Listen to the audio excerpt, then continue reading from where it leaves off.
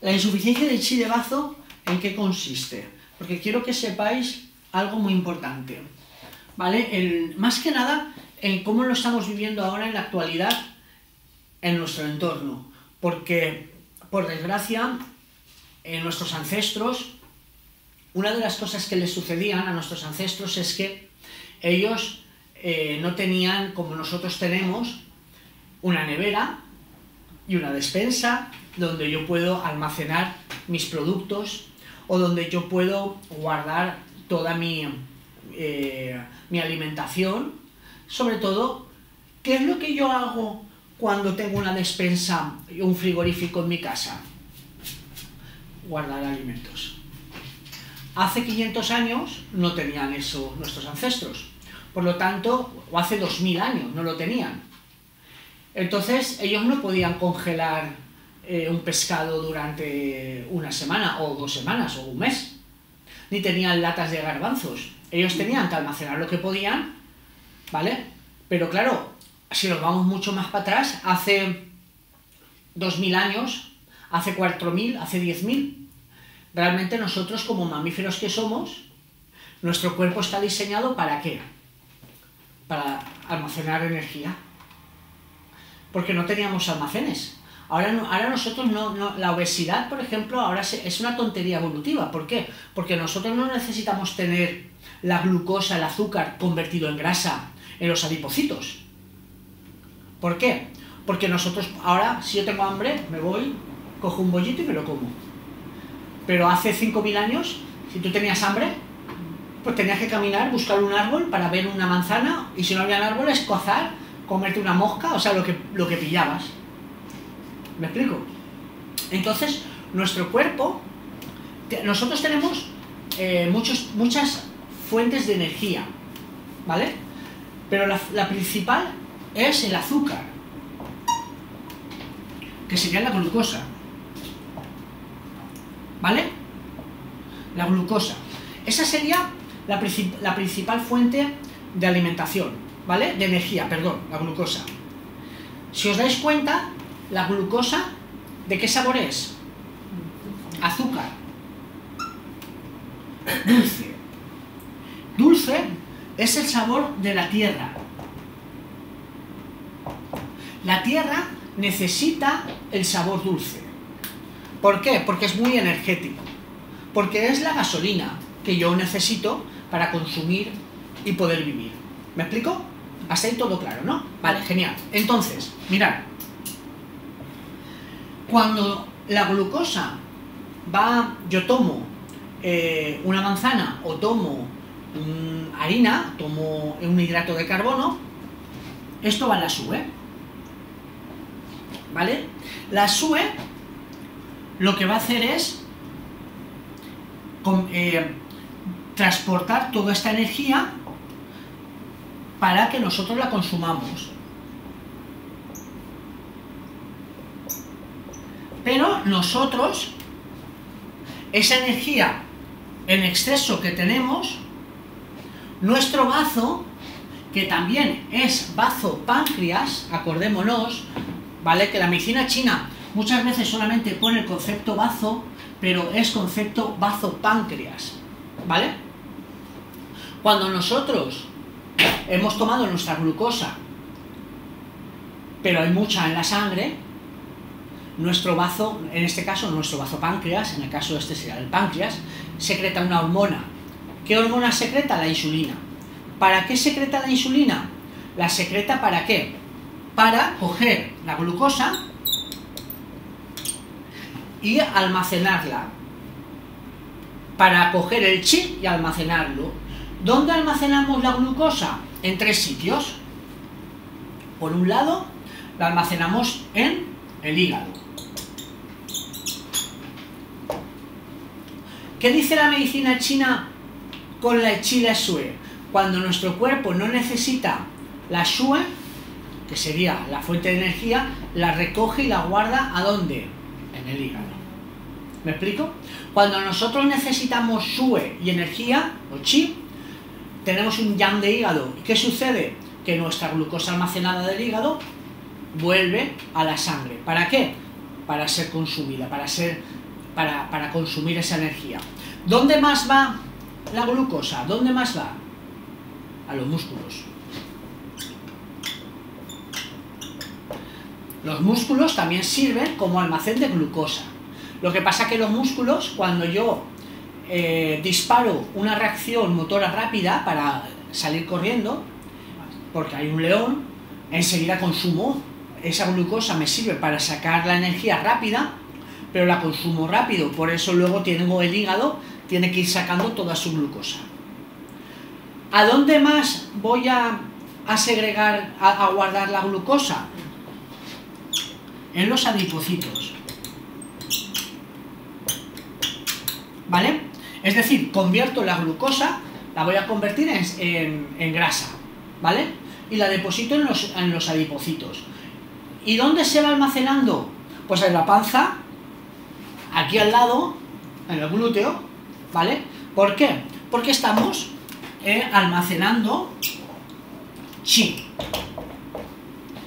Y esto es, es, evolutivo porque nuestros ancestros hace 10.000 años, cuando había comida, pues claro, ellos comían lo máximo que podían para convertirlo en grasa, porque es un almacén.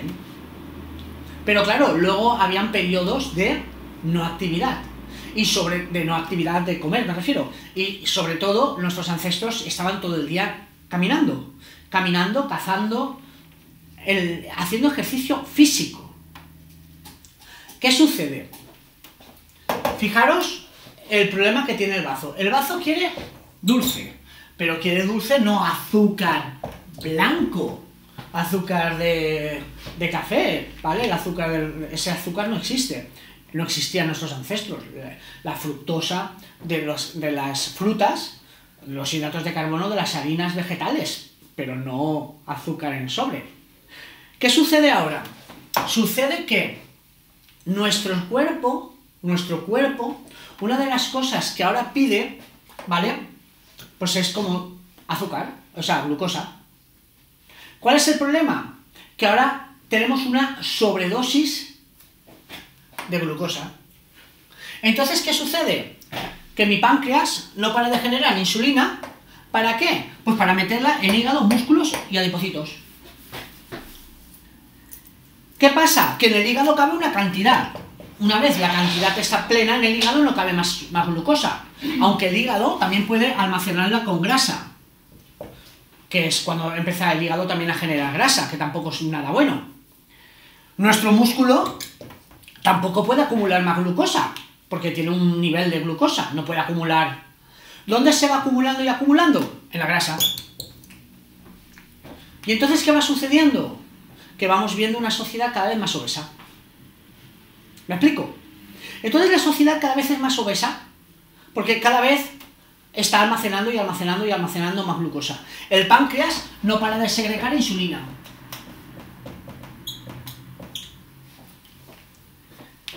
Esto es un problema porque llega un momento donde tampoco en la grasa cabe más insulina, cabe más glucosa.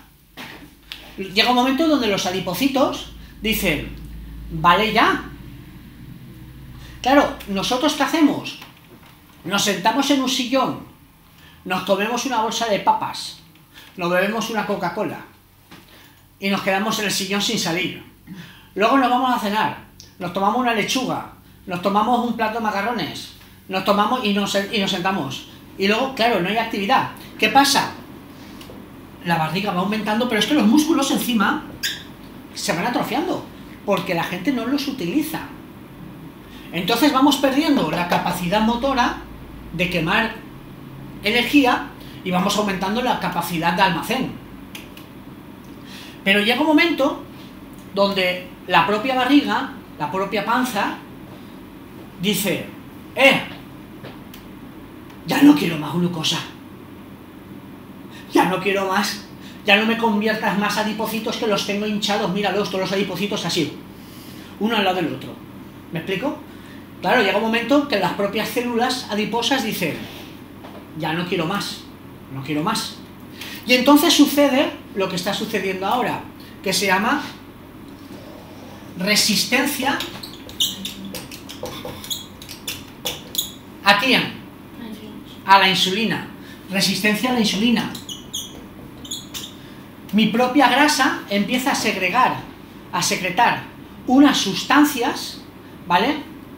Inflamatorias, inhibidoras, o sea, bloqueadoras de la capacidad de la insulina. ¿Por qué? Porque llega un momento que no quiero tomar más. Entonces me hago resistente a la insulina. Y esto es un problema porque entonces empieza a aparecer una enfermedad que se llama diabetes. Pero diabetes tipo 2, no tipo 1. La diabetes tipo 2. Porque la diabetes tipo 1 no tiene nada que ver con todo esto. La diabetes tipo 1 es una diabetes que tiene que ver con un proceso inmunológico. Este es un tipo 2. Vale, ¿qué sucede? Que nosotros empezamos a no pedir, eh, o sea, a resistirnos con la insulina. Claro, y entonces empezaremos a generar, por ejemplo, la enfermedad de las tres P's. Polifagia, polidipsia y poliuria. Las enfermedades de las tres P's. ¿Por qué? Polifagia, porque mi cuerpo, claro, mis células musculares consumen la energía pero yo estoy resistente a la insulina. Con lo cual, fijaros qué curiosidad, tengo exceso de, energía, pero no la puedo captar. Y entonces mis células musculares, ¿qué tienen? Hambre. Entonces, ¿qué le dicen a mi cerebro? Come más. Mi cerebro come más. Pero ¿qué sucede? No entra la energía a las células. Polifagia, ¿vale? ¿vale? Polifagia, polidipsia, necesito beber más, ¿vale? Y poliuria, claro, bebo más, necesito orinar más. Entonces, ¿qué sucede? Que empezamos a tener lo que nosotros llamamos una insuficiencia, ¿vale? De, eh, sí, de bazo. Pero cuando nosotros ya tenemos la insuficiencia, cuando estamos hablando de una, diabetes tipo 2, por ejemplo, no estamos hablando de una insuficiencia de chi de bazo, estaríamos hablando ya de una insuficiencia de yang de bazo. ¿Por qué? Porque tenemos que saber algo muy importante. Cuando tenemos una afectación de la diabetes, se produce un proceso inflamatorio. ¿Qué se va a ir afectando? Mirad, lo primero que se afecta cuando tenemos una diabetes son los capilares más pequeños. ¿vale? Los más pequeñitos. Los más pequeñitos son los capilares que tienen que ver con, la, con el aporte de energía, ¿a dónde? A las zonas más distales y más pequeñas. Por lo tanto, esas zonas empiezan a tener falta de aporte de chi. Las zonas se hacen frías, suficiencia de yang. Los pies fríos, las manos frías. No llega bien la sangre. Segundo, si no llega bien la sangre, empiezan los calambres. Tercero, como no me llega bien la sangre, empiezo a moverme menos. Con lo cual, todo lo contrario a lo que, a lo que debería de pasar. ¿Me explico? Dime. Insuficiencia de ya. Claro. No de aquí. Es que te has perdido todo esto. Ahora, ahora te lo explico. ¿Vale? Entonces, ¿me entendéis lo que quiero decir? Si yo, insuficiencia de Yang, insuficiencia de movimiento, insuficiencia de Yang, Yang es calor, no hay calor. ¿Qué es un pie diabético? ¿Qué le pasa a un pie diabético? Pues otro me dice, no, el pie diabético se calienta, se inflama, no, eso por las úlceras, no llega bien la sangre, aparecen úlceras, las úlceras se infectan, las bacterias, sistema inmunológico, hay un proceso inflamatorio crónico, sistema inmunológico no responde adecuadamente. Por eso el pie diabético es tan peligroso. Por eso las enfermedades con deficiencia de de bazo son tan peligrosas. Pero no porque porque se complica todo. ¿Me explico? Se complica todo. ¿Lo has entendido lo que quiero decirte? ¿Cuál era tu pregunta? ¿El por qué? No, no, eh, que siempre lo que estabas diciendo, los pies fríos o las manos frías, si era siempre insuficiencia de yang o también podría ser insuficiencia de ki. Claro, no, no, claro. pero es que está una está a la par de la otra. Si yo te digo que un paciente tiene insuficiencia de yang de bazo, ya es lógico Ya, es lógico que tiene insuficiencia de chi. Pero es que si tiene insuficiencia de yan de bazo, el yan es lo que mueve también la sangre. Pues la sangre no llega, se estanca. Por eso aparece el estancamiento inflamatorio, el pie negro, el estancamiento, el pie diabético. Si por desgracia se hace una úlcera, pues ya la hemos liado. ¿Por qué? Porque es, un estancamiento de sangre porque no hay flujo. La sangre se estanca, el sistema inmunológico no reacciona bien, se hace una úlcera. El sistema inmunológico no funciona bien porque no hay, una buena reacción de Yang, una buena reacción inflamatoria, sana. Las bacterias invaden la zona y ahí tenemos un problema. Por eso los diabéticos, a, tanta gente diabética tipo 2, acaban amputándole las piernas. Precisamente por eso porque no les llega el yang, no les llega el calor, no les llega la vida, están muertos, se les están pudriendo las articulaciones, las articulaciones no, las, las partes más distales. ¿Por qué el pie? Porque la parte más distal. No, no se le va eh, la mano, por ejemplo, es más normal el pie. ¿Me explico? Entonces, ¿qué pasa? Claro, aquí, cuando ya tenemos una diabetes tipo 2, bueno, el problema ya es grave. ¿Me explico? Nuestros pacientes que quieren perder peso, normalmente tenemos que hacer una rehabilitación de todo esto. ¿Por qué? Porque una, una cosa es la obesidad, pero es que luego tenemos que saber otra cosa importante. El bazo que hace, aparte de transformar y transportar los alimentos, que tiene que ver con la insulina, tiene que ver con el páncreas, el bazo también mantiene a dónde, los tejidos dónde? En su sitio. ¿Vale? Mantiene el tejido lo mantiene en su sitio. ¿Ok? Si yo no puedo mantener mis tejidos en mi sitio, ¿qué sucede? Prolapso. Entonces, si tengo una obesidad y encima un prolapso, pues claro, todavía peor. ¿Qué, suele eh, ¿Qué se suele prolapsar? El útero, ¿no? El intestino, y luego las carnes, ¿no? Pero bueno, a lo que, a lo que estamos hablando es más el, el aparato San Jaume y sangre inferior, todo se prolapsa. Claro, ¿qué sucede? Mucha gente, de golpe de repente, ahora quiero hacer dieta, pero para hacer dieta tienes que recuperar el bazo. Hacer dieta no es dejar de comer o, dejar de comer esto dejar de comer aquello. ¿Me explico? ¿Por qué? Porque hacer dieta es saber reeducar el organismo y recuperar el bazo. ¿Para qué? Para que los tejidos y la carne suban. ¿Cómo suben los tejidos? Hemos dicho, aumentando masa muscular. ¿Me explico? Por eso hay una dieta que se puso de moda, que también es un poco peligrosa, la dieta de Hawkins. La dieta, ¿qué decía la dieta de Hawkins? ¿O qué dice? Solamente proteínas, fuera pero totalmente hidratos de carbono, proteínas y grasas, las que tú quieras. Y la gente pierde peso. claro. Eso es, ¿Eh? la Ducan, ¿no? ¿Cómo? ¿Eso es la Ducan? O sea, la Ducan. Perdón. No, pero Atkins es igual. ¿eh? Sí, también, ¿no? Vale, sí, yo mira, pero el tema es que, claro, eh, hay que tener cuidado. ¿Por qué? Porque, claro, evidentemente, tú, yo, tú ya no le aportas grasa, eh, perdón, hidratos de carbono, claro, la persona sí que va a perder peso, pero claro, la transformación va a ser más debilitante para el bazo. Por eso eh, hay que hacer una dieta equilibrada y sana. Yo siempre digo a los pacientes que no hay que hacer una dieta, sino lo que hay que hacer es aprender a comer. ¿Me explico?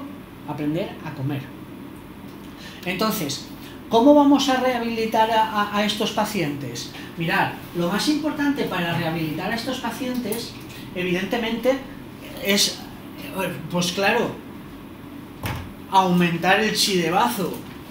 ¿Qué puntos podemos usar para aumentar el chi de bazo? Bueno, el principal, voy a borrar un momento, para que entendáis eh, un poquito cuál es la lógica ¿vale? a seguir. Pero el principal ¿vale?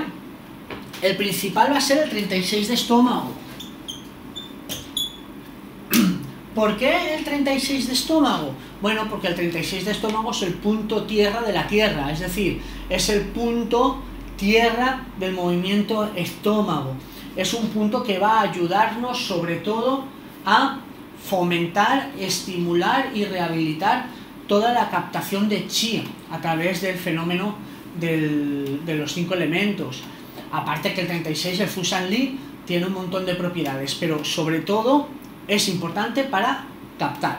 Pero desde luego el 36 de estómago lo vamos a utilizar no solamente para el- la insuficiencia de bazo, la vamos a utilizar para cualquier deficiencia. Vale, ahora, yo lo que quiero es estimular la función pancreática. ¿Ok?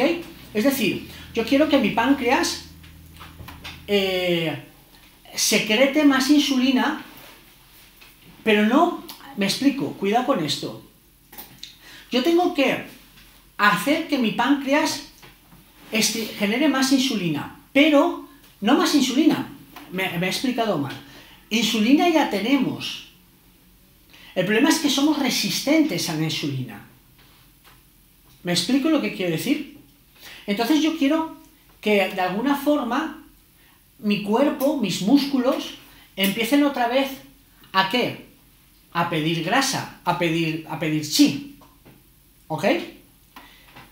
Pero mi cuerpo no va a pedir más chi. Y esto es importante porque si hablamos de que hay una insuficiencia de bazo,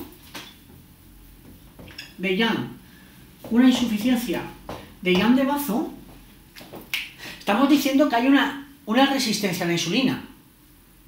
¿Ok? Entonces, el, el páncreas, en teoría, él sí que está funcionando bien. Porque hay una secreción. El tema es que hay una resistencia.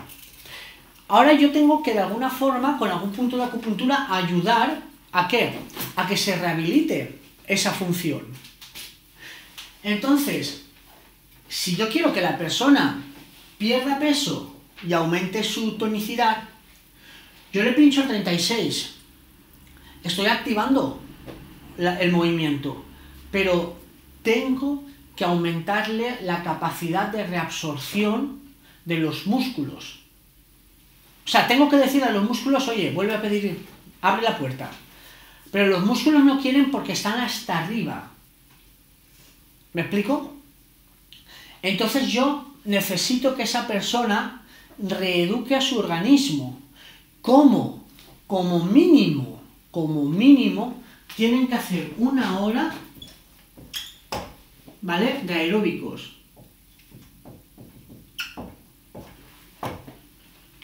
Como mínimo. Me da igual. La que sea bicicleta, que sea paseo, que sea... Pero que su corazón, ¿me explico?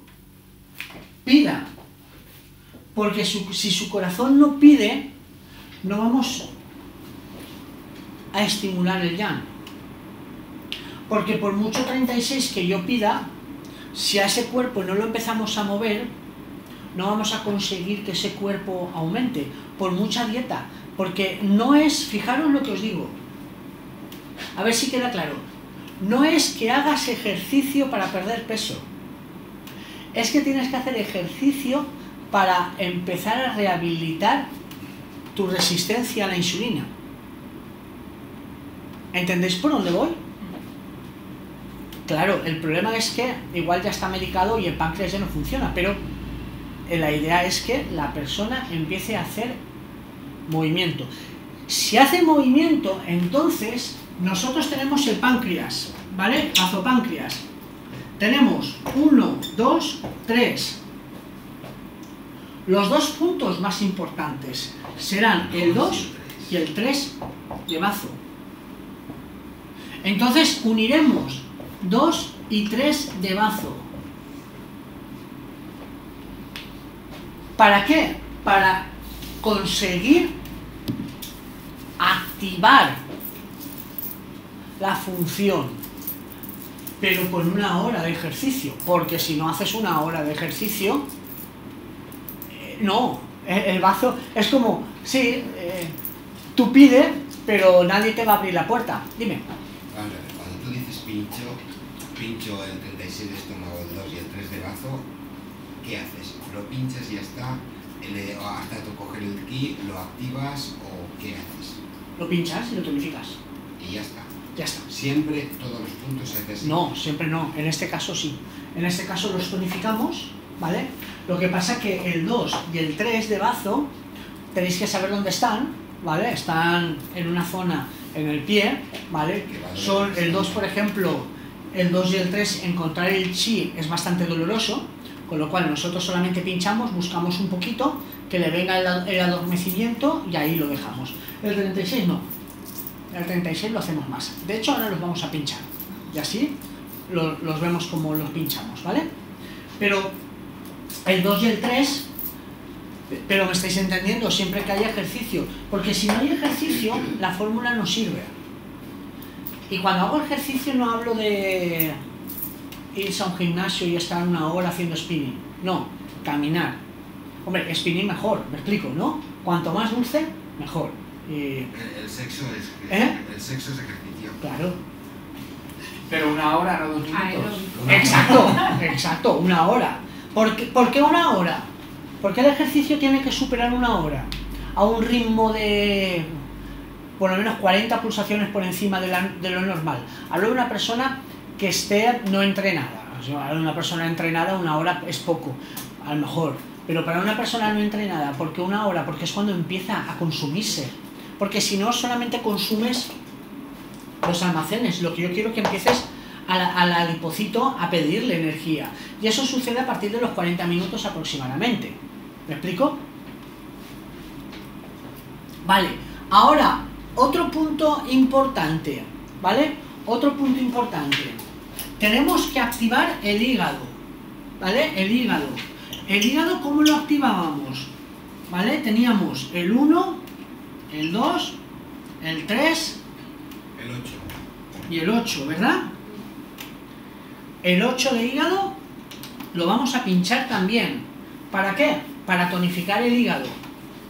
¿Vale? El 8 de hígado. ¿Por qué tonificamos el hígado? Para ayudar al hígado con toda la función metabólica del azúcar. ¿Vale? Para que secrete toda la glucosa y empecemos a poder movilizarlo. ¿Vale? Y luego otro punto importante es el punto maestro de los músculos. ¿Cuál es el punto maestro de los músculos? 34 vesícula biliar. ¿Vale? 34 vesícula biliar. El 34 vesícula biliar, mucha gente lo utilizamos como relajante. Eh, Sí, es verdad, es un músculo relajante para cuando tenemos tensión muscular por exceso de ejercicio. Pero también es un, punto que actúa nutriendo los músculos. Por eso es importante el 34 vesícula biliar, porque le va a ayudar también a movilizar toda la grasa. ¿Vale? Otro punto importante, hablamos de los músculos. Otro punto importante ahora va a ser activar el movimiento de la sangre. El movimiento de la sangre lo vamos a activar con el 10 de bazo, que es el mar de la sangre. Un punto que tenemos aquí arriba, ¿vale? Aquí lo buscamos, ¿vale? Poniendo la mano así, lo vamos a encontrar en el que es el músculo de la risa, cuando te aprieta la rodilla, ¿vale? El punto ese que te aprieta. El 10 de bazo lo que hace es movilizar la sangre. Va a ir bien para im- implantar movimiento a todo el cuadro. ¿Vale? Si os dais cuenta, eh, hay muchos puntos que no entenderíamos por qué los estamos aplicando en un cuadro de insuficiencia renal de bazo. Pero lo estamos aplicando porque estamos hablando de un paciente con sobrepeso. ¿Me explico? Vale.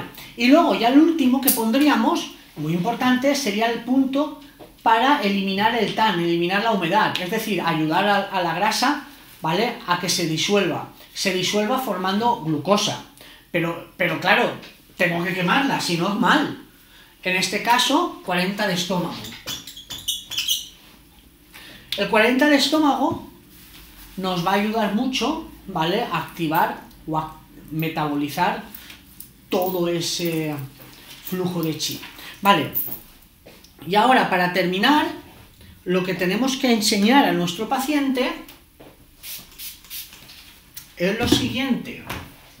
¿Vale? ¿Y el 9 de bazo, Pablo? 40. ¿Y el, y el 9? No, El diurético también lo puedes usar, ¿te refieres? si Por- hay retención. Sí, sí, pues hay retención, pero estaríamos hablando de líquidos. Si tú haces todo el movimiento, lo vas a activar bien. Pero también una mujer muy edematosa, con mucha deficiencia de yang, con las piernas muy hinchadas, con mucho líquido, también lo puedes utilizar. Y puedes utilizar más puntos también. ¿Me explico? Pero ahora, otra cosa importante, y con esto terminaríamos este primer enfoque, sería, acordémonos que para que el bazo no se debilite, no tenemos que permitir que hayan picos de hipoglucemia. Y entonces tenemos que comer de la siguiente forma. Nosotros por la mañana, ¿vale? Nosotros tenemos que saber que por la mañana nosotros venimos con un ciclo de mucho cortisol, ¿vale? Por la mañana. Por la mañana nosotros tenemos mucho yang. Por la tarde vamos generando más yin. Y por la noche generamos la GH, por ejemplo, la hormona del crecimiento, que es muy anabólica. ¿Vale?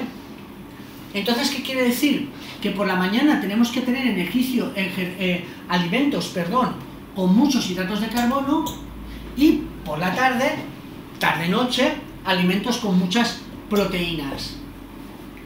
Porque por la mañana quemamos mucho chi y por la noche quemamos mucha sue. Mucha sue, mucha proteína. Por eso, por la mañana nosotros podemos tomar frutas, harinas, pastas y por la tarde pescados, frutos secos, proteínas. Mucha gente eso no lo hace así. Entonces, lo importante, por la mañana yo me levanto. ¿Qué puedo tomarme? Pues bueno, una fruta, un zumo de fruta, una tostada, mermelada, ¿me explico? Cosas de absorción medio lenta, ¿vale? No, no muy rápida, como una pera, pero sí que me, a mí me aporten una cantidad de energía para consumir, porque eh, además es la parte más llana.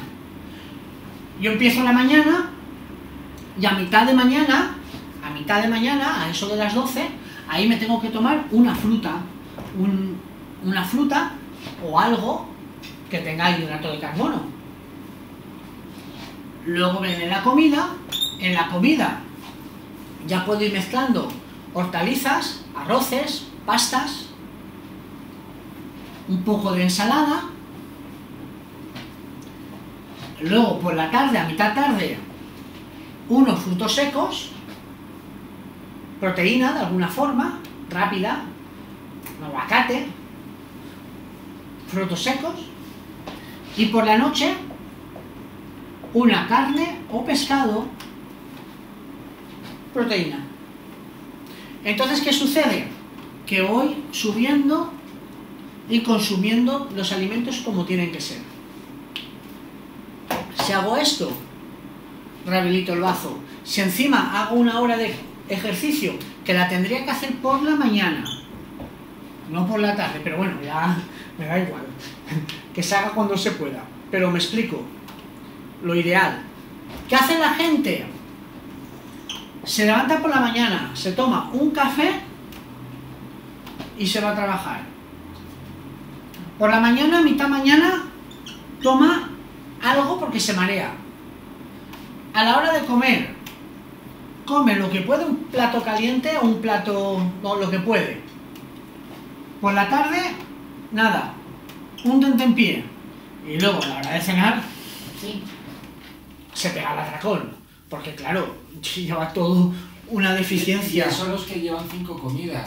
Eh, No, eso sí, el que hace eso, porque mucha ¿Qué gente... hace una? Eh, el que hace además es que ya va picando, porque ya va, ¿me explico? Claro, si encima tú te picas un hidrato de carbono como un dulce, un bollito o un café con azúcar, te pega unos picos que son brutales, pero es que eso tal y como sube, tal y como baja, entonces te mata. Pero yo me, mira, yo me estoy encontrando mucha gente ahora que en el tema de dietas que comen una o dos veces al día. Punto. Muchísima. Pero es que, eh, mirad, nosotros, a ver, nosotros somos animales. Sí que es verdad que los, los animales no comen eh, cuatro veces al día o cinco veces al día, comen cuando pueden. Nuestro sistema, si nosotros comiéramos una o dos veces al día cuando cazamos, nuestro sistema metabólico estaría muy adaptado, pero es que ahora están, tenemos que, en la sociedad en la que vivimos, hacer que nuestro organismo esté lo más adaptado posible. Entonces, si yo tengo una, bajada de, de azúcar al día, una hipoglucemia, pero la tengo sostenida, porque no vuelvo a comer hasta dentro de 10 horas que no vuelvo a, pillar un árbol de fruta, en esa bajada sostenida yo actúo absorbiendo toda mi grasa almacenada. Pero lo que yo no puedo es comer ahora, luego por la tarde me cojo un chicle. Es que, ¿me explico? Y eso te pega una subida de azúcar. Y luego me tomo un cafenito. Y luego como por la noche.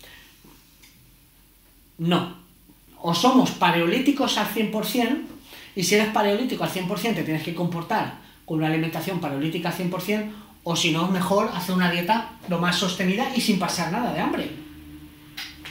¿Qué pasa? Bajamos hipoglucemia, hipoglucemia, hipoglucemia, hipoglucemia y subimos. 1, 2, 3, 4 picos, 4 o 5, los que hagan más. ¿Qué pasa? Cuando más picos de hipoglucemia vamos haciendo a lo largo del día, más vamos debilitando el brazo. Entonces, todo esto es lo que nos vamos a encontrar en el 90% de nuestros pacientes que vengan para perder peso. Vienen con una gran debilidad de bazo y, no y encima nos van a decir cosas como, pero es que yo ya no puedo comer menos. Es verdad, Tú nos miras y dices, es verdad, es que no puedes comer menos. Es que si comes menos te mueres ya. El tema no es que no puedas comer menos, el tema es de cómo comes. ¿Me explico? Porque hay gente que me dice, es que a mí el aire me engorda. Al final es verdad, porque claro, pasan una hipoglucemia tan grande que cuando abren la boca las bacterias que les entran directamente se convierten en adipocitos, porque el cuerpo dice, vamos, todo lo que entre en el aire ¿Ok? ¿Ha, quedado claro esa parte?